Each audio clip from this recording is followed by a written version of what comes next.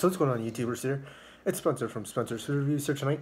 We got another video, so we're going to be doing a Dr. Pepper comparison between the regular Dr. Pepper and Dr. Pepper Cream Soda. So I hope you guys enjoyed my chips comparison of Doritos versus Lay's video. So here we are doing the Dr. Pepper comparison.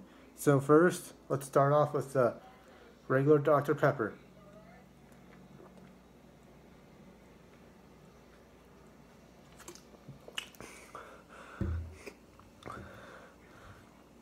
Pretty good flavor into it though.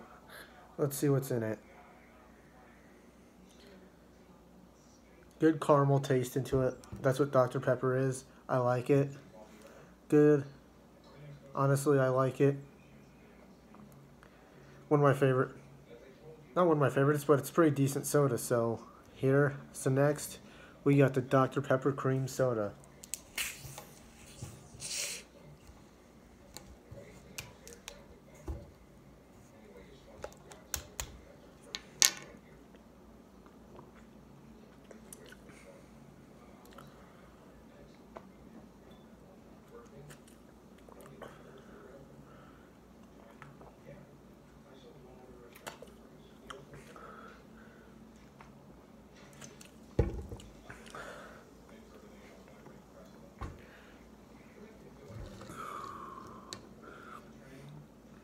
Honestly, the better one here is the better one is the Dr. Pepper cream soda.